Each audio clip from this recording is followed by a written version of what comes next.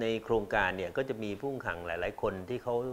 ทำกิจกรรมเกี่ยวกับงานปั้น งานสี งานวาด หรืองานกิจกรรมต่างๆ ที่เป็นศิลปะ ทีนี้เราเอาผู้ขังกลุ่มนี้มาพัฒนาต่อยอดจากงานปั้นจากงานสีจากงานวาดงานศิลปะต่างๆเนี่ยก็เลยลองให้เอา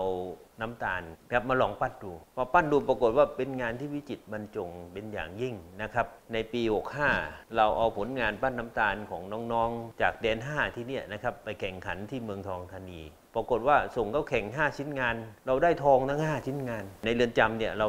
เปิดช่องทางโอกาส ให้กับน้องๆ คนพวกนี้อยู่แล้ว ว่าเขาเขาพร้อมที่จะเป็นคนดีที่มีอาชีพ สิ่งสำคัญที่ต้องฝากก็คือว่าแล้วทางสังคมหรือคนทั่วไปเนี่ยคุณเปิดโอกาสให้กับผู้ที่ก้าวพลาด ที่ก็พร้อมที่จะเป็นคนดีหรือยังอันนี้ต้องเป็นคำถามไปสู่สังคมด้วยครับ